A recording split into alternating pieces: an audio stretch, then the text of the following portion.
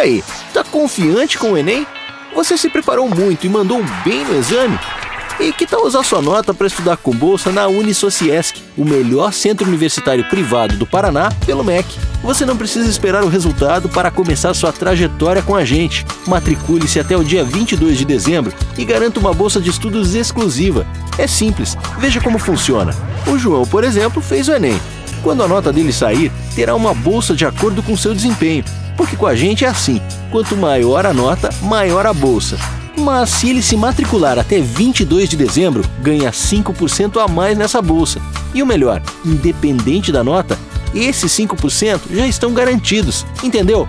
Vamos supor que o João quer fazer um curso que a mensalidade é 900 reais, e que sua nota no Enem ficou entre 451 e 550 pontos.